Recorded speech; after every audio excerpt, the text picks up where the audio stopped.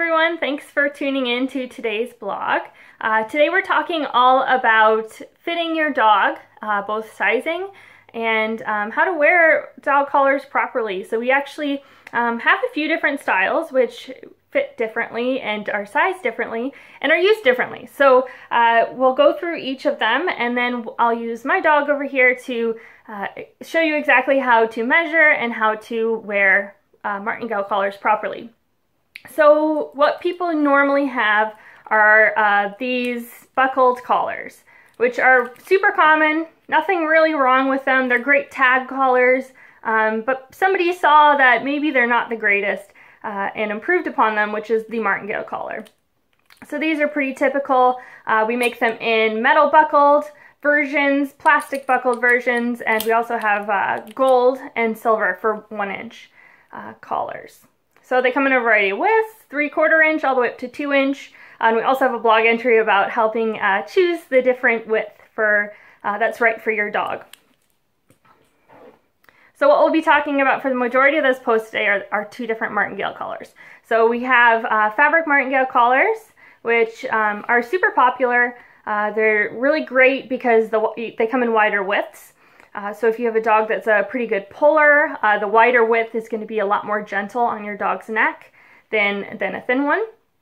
So this one here, just for your own reference, is an inch and a half, which is slightly bigger than your typical store-bought collar. For larger dogs, they're typically one inch here.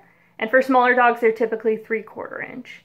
So we do make these fabric uh, martingales for all widths, three quarter inch all the way up to two. So the main difference with a fabric or, or a metal um, check chain martingale are is that it's adjustable. So you have um, your typical um, adjustable portion here, web slide, so you can adjust the size. But it also has this uh, ring that will adjust as well. So you slip this over your dog's head uh, and fit it sort of looser than you would a typical uh, buckled collar. And I'll show you exactly how to use it in a minute. And uh, it kind of adjusts as the dog pulls. So that'll be make more sense uh, in a minute. So we have this fabric version. Uh, and we also have a check chain version. So it's the exact same style. A lot of people see this and think it is a um, choke chain, but it's not really. It's the exact same as the fabric martingale, um, and it's if you're using it as a choke chain, you're probably not actually using it properly. So you really lose a lot of the benefits of um, of this collar, especially because you uh, your dog will be able to slip out of it if you're not using it properly. So we'll go through all that, and we'll actually use this one to demonstrate on my dog in a minute. Okay, so we're gonna start off with uh, measuring your dog. So how exactly do you measure your dog for an NHCC collar? So instead of sizing, uh, we don't allow or we don't provide small, medium, large except for our last of collection because those items are typically pre-made and we already kind of know what size they are and what measurements they fit. So for those, uh, you can always send us an email if you're unsure. If you've purchased from NHCC before, you might already know what size uh, your dog is. Um, but be sure to check. It's always good to include your dog's neck measurement in the notes of that as well, just so we can make sure that you purchase the right size and that we're sending the right one to you. Um, so it's really important. Let's have her sit here. Sit. Sit. Yep. Is to measure your dog at the top of the neck because especially with uh, custom sized uh, collars and uh, especially those for puppies, if you measure at the bottom, I'm going to end up making a collar that's too big for you to start off with. Because the smallest part of the neck is up here at the top. I would recommend just doing it right beneath the ears here. You can see on her.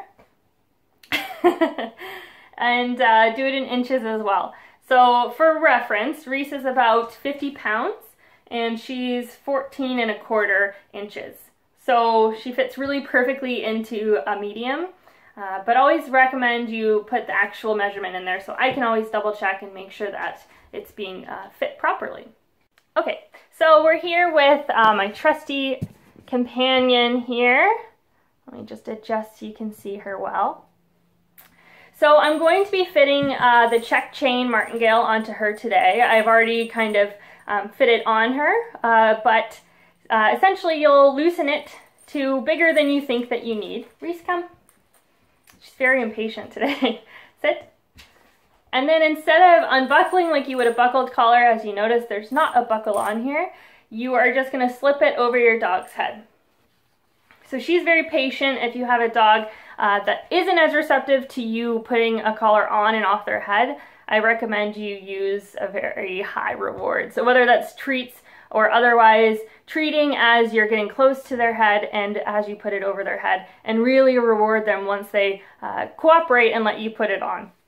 Uh, so when you're fitting the martingale collar, you want to make sure that the two rings touch. And in the case of the fabric martingale, you want to make sure that the two web slides touch. Okay? So here we already have it fit onto her. The two rings touch. And you'll notice that when she's off leash, like she is now, it's just going to loosely sit at the base of her neck. Get you to resit. Sit. Yes.